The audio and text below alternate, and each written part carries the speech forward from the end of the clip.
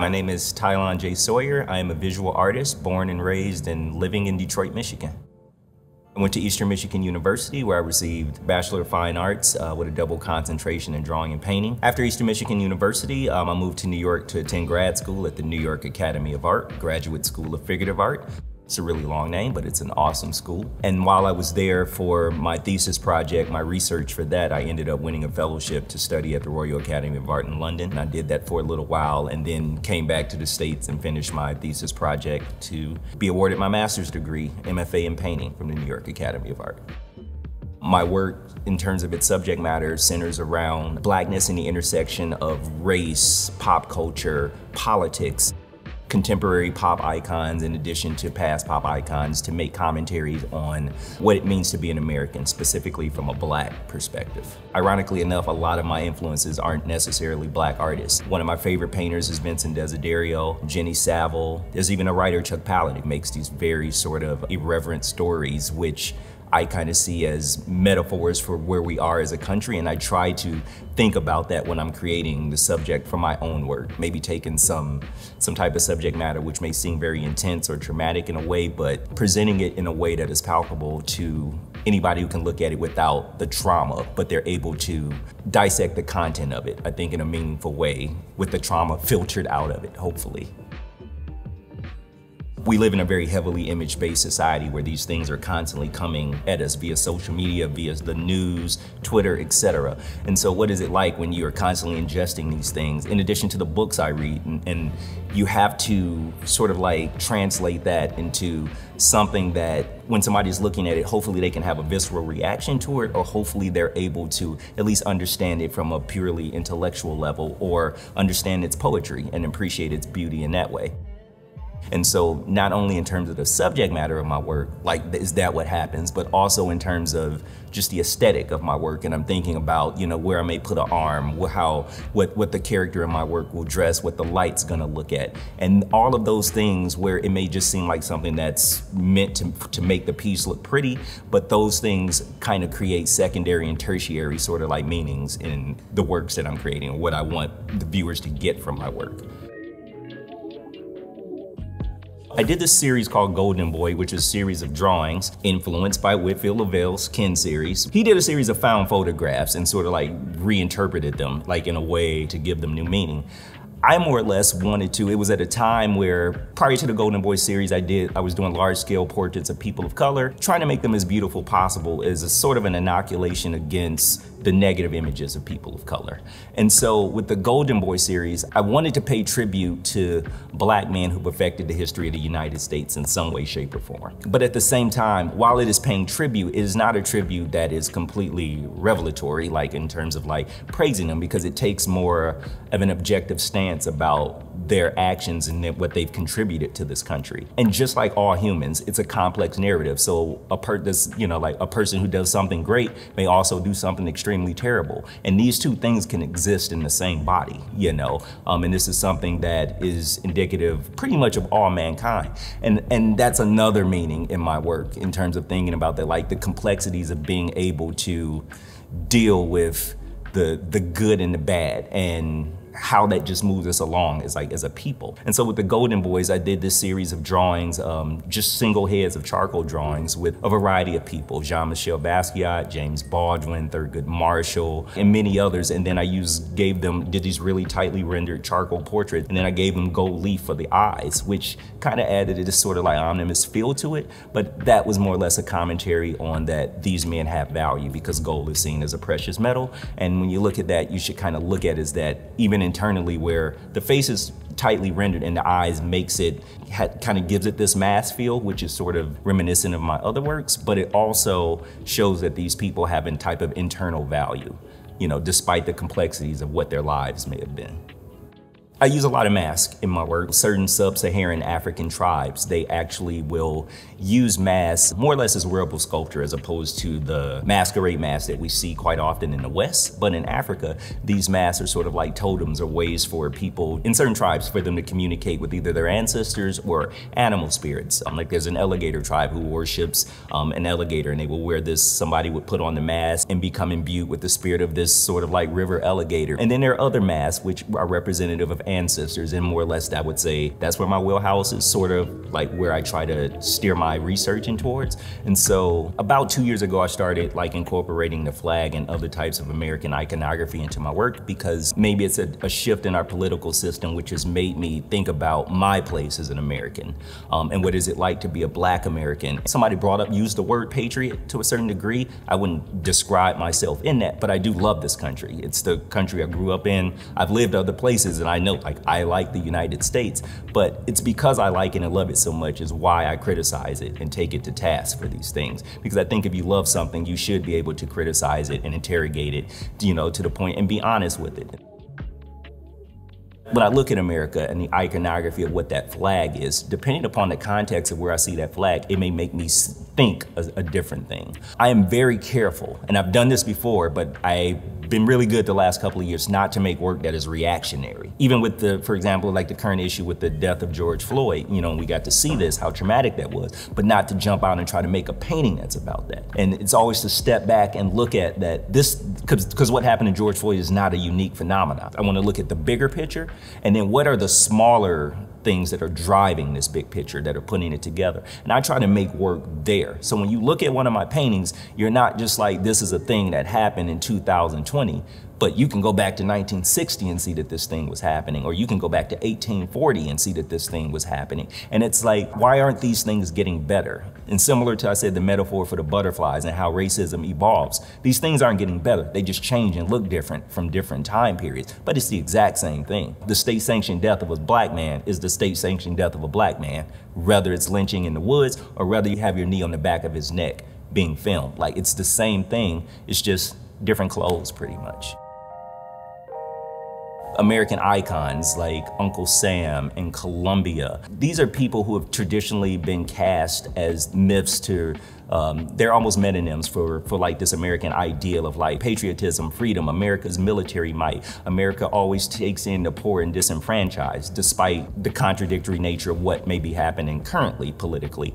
And so what is it like when you take these roles which have traditionally been relegated to people who look white and you replace them with black actors? And that's all that I'm doing is replacing them with black actors and recontextualizing them in this patriotic way. But literally just black skin in and of itself complicates that narrative and turns these images into something else. And I'm very aware of that. And so when I do it, it's intentional because it should be engaging on multiple levels. I have a painting called Uncle Sam, um, American Gangster Uncle Sam, where instead of traditional old white man, which was a original image came up by uh, J.M. Flagg, who was an illustrator, thinking that it's late 1700s or early 1800s, and he actually came up with the icon for what Uncle Sam was. Instead of a traditional white man with a flag suit on, what's it like when you take a cool black guy, a pistol in the joint, and he's still looking at you at that same way with the same type of, I want you, but the pistol represents military might. But because we understand like the stereotypes and things that are placed upon black people, it changes the narrative in spite of what my intent is. And I'm conscious of this.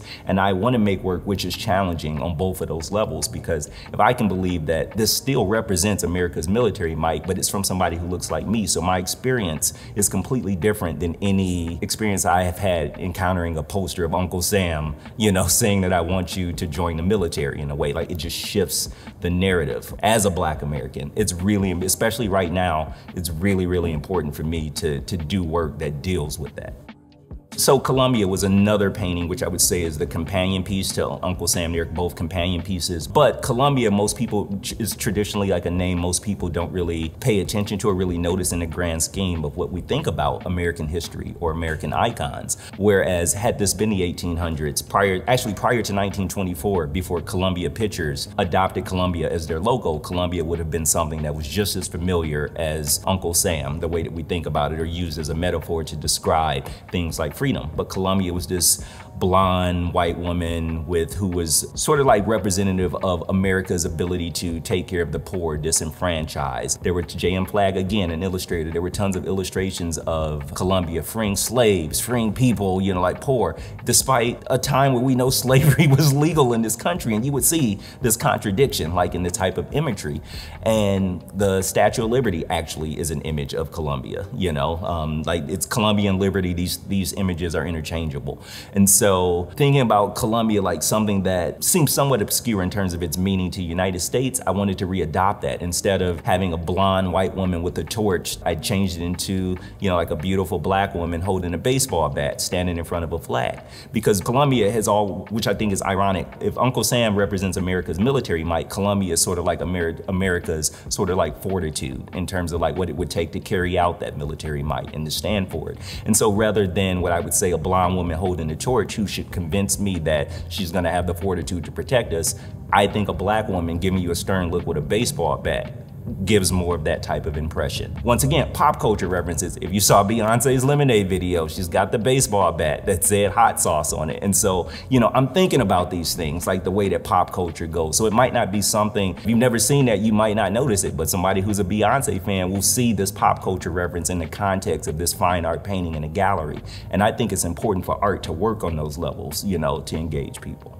The work that I make, because it is so heavy, like intellectually, I want to know as much about it so that I can simplify it into something that is very, very palpable to somebody who's looking at my work. Now, all my work isn't didactic. It's not always teaching you a lesson. All of my work does have a type of intellectual foundation that takes heavy research from that. It may take reading a 500 page book, but that's what the work looks like on my end. And that's actually almost just as enjoyable as the painting part to me because I'm sometimes fascinated or quite often like fascinated at things that I just did not know. Pop culture, no matter what, black people, we've made significant contributions to this country. And so I'm very fortunate to that I have tons of material to draw from to keep this series going for as long as possible.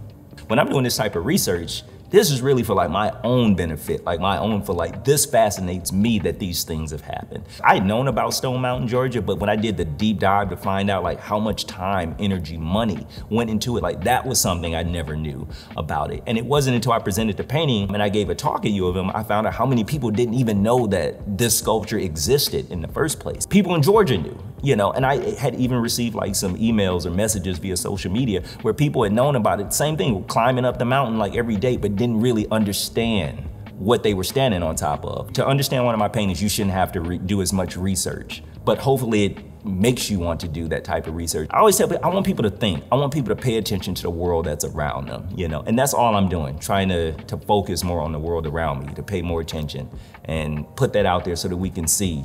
There's a story, a short story I read in college called Those Who Left Omelas, right? Now, Omelas was the story like this magic city where everything was perfect, everything was beautiful. People had magic carpets, there was food, everything was, you know, just flying cars. It was amazing, right? But Omelas was this magic city and it was predicated on the suffering of this little boy. And there was this little boy in the middle of the city who was like this closet. And through magical means or whatever, he had to sit there in his like own, you know, waste and everything. He had to suffer. And in Omelas, in order for these people to enjoy this kingdom, everybody, when they became of age, had to learn the truth about this little boy. To know that your perfection, everything that you have, is predicated on the suffering of this child. And so the story kind of talks about the idea of people who had left Omelas. And, you know, some people went to New York. I don't know where Omelas is, but there were certain people who were not able, you know, under their own conscience to deal with that, right? And that's that's pretty telling. And a lot of my work kind of does with that. Like, if I reveal this truth to you, this pretty magic kingdom that we call the United States, you know, and we think everything everything is beautiful and perfect. But when you put it in a way and you take somebody and say, this beautiful, pretty kingdom that you live in is predicated on the suffering of these people and these things, are you still able to live there and deal with it? And as many people say that they can't, I notice that they're still here on their phones checking their Facebooks.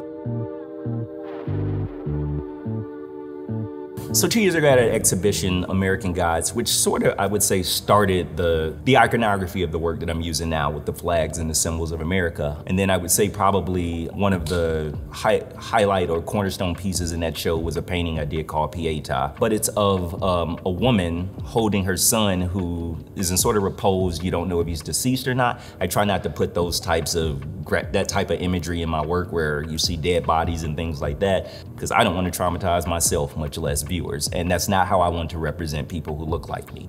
But um, these are actors, so it's a woman and her son sitting in front of the American flag and just looking at us, you know? And Pieta, I'm taking this from the Renaissance period. Pieta is Italian, it means pity. It's one of the, I think the four, one of the few images of the Virgin Mary you will ever see sad. And whenever you see the Virgin Mary holding Jesus after he's been deposed from the cross, that's considered a Pieta. And it's used in movies and things like that. You'll see the pose, but in this respect, I've never seen it used with a black woman holding her son in that way, but I was thinking about like in this way, I wanted to do a painting which I wanted to uh, do a painting that addressed violence, but without being a violent painting. I was thinking about like Trayvon Martin and sort of how he's become a metonym for state-sanctioned violence against little black boys and, you know, like just men in general. And so I actually had a friend of mine, you know, like asked her would she be the sitter for the painting. And I actually asked, you know, like would her son, you know, like would he participate in this? And this was interesting where we had to actually have a talk with him and talk about what the painting was going to be like. I showed him references of what traditional pietas had looked like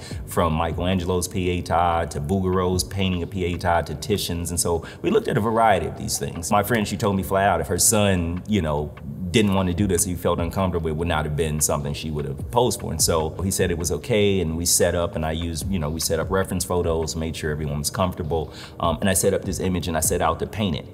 And my idea was to create something that was beautiful, but it would still, it would, it would make you think about violence, but you, you shouldn't see blood, you shouldn't see guns, you shouldn't see a deceased body in that way. But you should think about these things because this is an American problem, not just a black problem, but it's an American problem. And so a lot of times when I, we use this word trauma, and I think it's thrown out there too heavily, the world itself is, it's, it's pretty, it's pretty intense, it's a pretty, it's pretty bad out there. Sometimes something that one person may see as trauma can be just a problem that another person sees to solve. And trauma is a thing where I, sometimes can stagnate you, right? But when something's a problem, it is a thing that needs to be solved, it needs to be fixed. And I think about that, like in terms of like gun violence against people who look like me. And so there are tons of systemic changes that hopefully people can see this in, in the grand scheme of themselves as Americans. That's why I use this type of iconography like flags and things, so that people, if you're looking at it, if you're an American, you're not divorced from these things that I'm talking about, no matter what your skin color is or what your background is. And hopefully you can see that just as important important a subject for you to tackle as it is for myself or any other black person. It was a religious subject, but I made it more of a secular one, which deals more with something that happens in the United States a way too often. Like I said, two years ago, I started um, the series sort of using American iconography with this show called American Gods, named after a novel by my, one of my favorite writers, Neil Gaiman. Um, but the novel was about American Gods. It's a work of fiction, and it's a it's a work about um, Whereas people, as they started to colonize Americas from different countries with different faiths, they would bring their gods with them. This, it's a work of fiction, so you're assuming these gods exist. Think of Odin, think of Loki, you know, like Norse, Norse gods. Think of um, Vishnu, you know, if you go to India. So as people moved to the United States, as the country actually turned into the United States and, and America and started to evolve and become more secular, people sort of started to abandon their gods. And so these gods were sort of like left to their own devices to roam and what that looks like, and the book kind of deals with that. And so I was thinking about that as a metaphor for what it was like for black people being brought to America involuntarily, and then through Civil War and a myriad of other things, sort of left to our own devices to kind of into the wilderness of this crazy country that we live in. And so I just used that as sort of like the starting point, like for what that body of work was gonna be. And even though I've done paintings, I've done drawings and things like that, which have shifted somewhat subject matter, it all still kind of falls under the same umbrella because, you know, I'm dealing with issues that happen in the black community, but they're truly uniquely American. And it's fun, you don't see this type of gun violence in other countries. You just don't. You don't see this specific type of race, you know, like being subjugated like in other, you just don't see that like the way that you see here. Like America's very unique in this type of repression and oppression that it does to people like me. From that series, um, there were, I mean, there are a few different things. Pieta was one. I did a piece called Post Hope, a, a, sort of like a a guy in repose, you don't know, like he's, looks like he's falling down and you can't see his face, but he's holding a mask of Barack Obama. And then he's laying on top of the American flag. And it's, it's just a, you know, tightly painted American flag. But whereas you look at the bars that are white, there were collaged elements that I ended up downloading from the um, Library of Congress. And so I'd finished the whole painting. There was some, you know, to me, it just looked like a pretty picture and there was an, it wasn't heavy enough to sort of get the idea that I wanted to think about like Barack's legacy is sitting on top of all this history. And so I went to the Library of Congress website and I essentially just typed in African American and literally all these images sort of came out. And it was fascinating to go through, I'm talking like the earliest photography from daguerreotypes of like slaves to most, you know, like more modern things of Tupac and, you know, ironically enough, Beyonce, although I did not put Beyonce on there. But these are things that you found. But I found the vast majority of the images that actually came from the Library of Congress kind of showed negative things about the black community. So it started off with slavery, but you would see civil rights, but it would show people getting attacked by dogs. It would show hoses. It would show the 80s like drugs. It would show like just all of these things that if somebody had never seen a black person and this was their introduction to it, they would, I can see how they would have like a negative connotation about what we are. And that just fascinated me because the Library of Congress is the collective memory of the United States in a way. And it's like, this is how the US remembers black people. And so I took those images and put them like between the, the on the white bars of the flag to show this ideal of like, yeah, this concept of what Barack had, and we had hope because we live in this hashtag, let's make a saying type of slogan, um, sort of like generation. But despite that hope, what happens post hope? He's still sitting on top of all that history. And as we can see today, it's, you know, like the same things, stuff still happens in spite of that one great blip that we had on the radar. Every single thing that I make it's multivalent in that way. I wanted to have a type of integrity to where if you want to do the work, if you can do like it's going to give you that where you can do the research and you can look at it and we can talk about it. And if you but if you want if you want to appreciate it for its beauty, hopefully you're able to do that as well. And so like the previous exhibition, American Gods, um, I actually had the privilege to create a short film called American Gods NA. When I say motion picture, literally like in terms of you've seen the, the paintings from the show, it's sort of like those were fleshed out into a cinematic world where um, a friend of mine, LaShawn Phoenix Moore, she was sort of a vocalist and we found this really beautiful church in downtown Detroit and we put her in the church and she sung the Black National Anthem, Lift Every Voice and Sing to an empty church while you start to see scenes recreated of the painting that I did, Pieta, and then I did a drawing called DNA, which kind of talks about the connection of protests throughout history. And so we recreated that scene actually live throughout the footage into one like cohesive film. And I really saw it as sort of like a motion painting, like in a way, which described my work. I was happy that was shown um, in downtown Detroit on the TCF Center. Like when you're getting on the lodge, you could see it on the large Jumbotron. And ironically enough, last year it won for Best Short Film at the Detroit Free Press Film Festival. And so expect more of that to come in the next show. I'm working on this series called White History Month. I did volume, White History Month Volume 1 at the very end of last year. I had a residency at U of M, but it's meant to be somewhat sardonic, but at the same time, very serious. We think about like Black History Month. We have it in February, shortest month of the year. Blacks always talk about that, and it's the one time where all companies decide to put, you know, let's back black people and let's do these great things and to, to support black people. Soon as that last day in February is gone, it's back to business as usual. And I, so I just thought of the irony of, well, since every day is White History Month, what happens if you just make like a white a show that engages white history on purpose, you know? And people thought I was crazy when I was doing this, but the show, all I'm doing, I'm mining from Western art history and, and, history in general, and essentially bringing forth um, obscure truths or sort of like revisionist histories and trying to reorganize them in a way that, I don't know, gets to some type of truth right now. How I even came up with that, uh, I was working on this stuff for this show. Last summer, I took a trip to New York and I was in the Met and I was, I was chilling in the Met right before, because my flight, it was like a few hours before my flight. So I was in the Met and I was walking around and I got to see the sculpture by Alberto Boccioni called Continuous Forms in Space. It's one of the most famous Italian futurist sculptures, got made out of bronze. It looks like a figure's running so fast that he's breaking the platform. I was checking out this sculpture and I was thinking about, you know, like this one of the best works by Italian futurists. And as I was sitting there looking at the sculpture, it hit me. I was I was thinking of, you know, like it was in the news what had just happened in Charleston about people trying to tear down Confederate monuments and talking about how the United States had all this racist artwork around and paid tribute to it. And as I'm sitting here checking out this Italian futurist sculpture, it dawned on me, I was like, wait, the Italian futurists were fascists. They actually believed in Mussolini's dream, which was sort of akin to Hitler. And when I was thinking about that type of work, like at the time, I was just like, and it just blew, like I'm started looking around and met, like, do they know that this is out here? Like this, what this work actually like was done by? And thinking about how like, how much of that type of work is in museums and around the world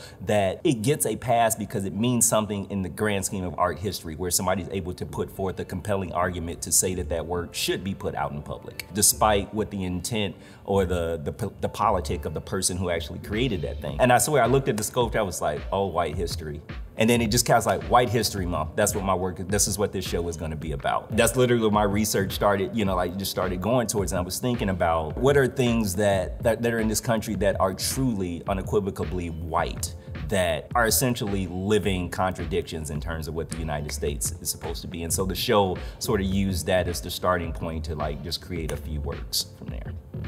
Using that idea of like, are there images, are there, are there, what are works around the United States which represents this great contradiction of what the United States says that it is versus what it does. And one of the things, you know, thinking about sort of like the, the violence that took place um, in Charleston a few years ago with the removal of a Confederate monument, it dawned on me as I started to do research, I came across, well, not came across, it was something that I was aware of, Stone Mountain, Georgia, but it was sort of a thing that was just in the back of my mind. I had never really brought it to the forefront of my mind and to contextualize it in the grand scheme of my work until I saw this sort of like national push to redact Confederate monuments away from, you know, United States or public view. I brought Stone Mountain, Georgia into the forefront of my mind and thinking about it, like it's the largest Confederate monument in the United States it's also Georgia's biggest tourist attraction.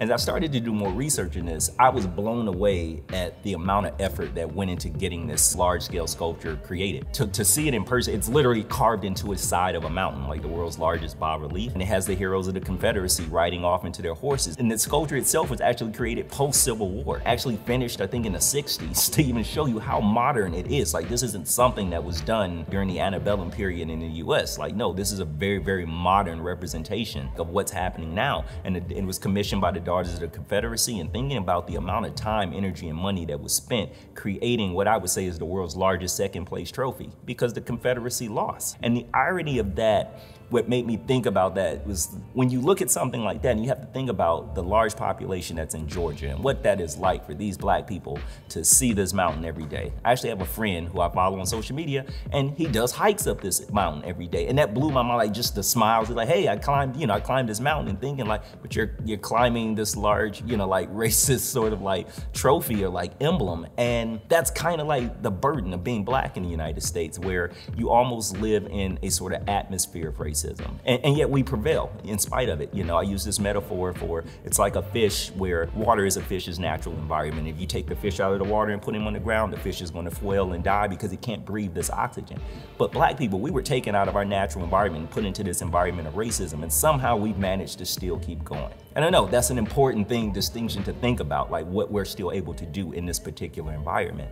And so I took the image of Stone Mountain and thinking about what it's like to the, the anxiety of living in this racist environment. And I just put a bunch of black bodies like on top of it, almost as if they were in a bed turning around, unable to get comfortable. In simple terms, it's about the anxiety of being black in the United States when you're constantly confronted with these sort of like images that are supposed to highlight your subjugation. Like I said, the white on white stone mountain, that was and I would say probably I would, in terms of subject matter, my most complex painting that I've done. There's levels to it. We could talk, we could do the whole interview if I kept talking about it. But in the show, um, for White History Month Volume 1, I sort of, I use Volume 1 because I'm still thinking about like hip hop when you think about like albums being brought out. Or I saw that show as sort of like a mixtape of the idea of that concept of what white history was going to be. And so I sort of like pulled from a variety of different things to sort of put together a show and see like, okay, what is the concrete direction that I want this work to go in?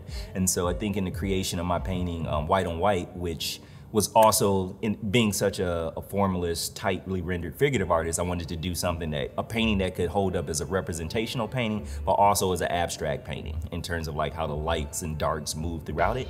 So I did the painting Three Graces Aretha Franklin, which is sort of a commemorative sort of like piece to honor the Queen of Soul, Aretha Franklin, but it also makes a commentary in a way on appropriation in a way that white culture has often appropriated black heroes for like their own uses, um, you know, depending upon what the particular situation situation is. Next year in January, I'm, right now I'm currently working on White History Month Volume 2, which will encapsulate the work from Volume 1, but then have it fleshed out in a more cohesive way um, I've started working on these large scale drawings. I did this piece called um, I Reminisce, where adding new iconography into my work. Traditionally, people would see, you're gonna see masks in the show, and traditionally that's something people would see. But I've also started thinking about the ideas of what butterflies represent. And so, how butterflies, there's these pretty insects that we see flying around, but you know, in certain cultures in the East, they represent reincarnation. I've kind of created this motif of butterflies with the Confederate flag emblem on them and thinking about sort of how racism constantly evolves in the US. And so you're gonna see images that have that on there, larger figurative images. I'm doing these large scale drawings called strata drawings. And so thinking about sort of historical strata all combined into one picture and what that is like to not place things so carefully or so ordered, but like how history is messy and just on top of each other. And so I'm creating these these multi-tiered drawings in terms of both their meaning and then also like the materials that I'm using. And then hopefully another time-based media sort of like project or movie to accompany this exhibition. It really, it's, it's a lot of work, but it really, really is a labor of love. Um, and I really just can't wait to like share this work with the world. I'm a lucky man that I get to do this for a living. I want to send a shout out to George and Jumaane N'Namdi, really for like all of their help and support in terms of my career. I really, really wouldn't have been where I am today without without George. And thank you so much for, like I said, the gallery exhibition. And when people come and you see this type of work, hopefully it overwhelms people with beauty, but also gives them this type of thirst to want to research. And like I said, pay more attention to the world that is around you, to the country that we live in, and to engage gauge our system on an intellectual level, not just to always be reactionary and emotional about everything. Like I said, every day is another day to get it right, and hopefully my work will help us get it right.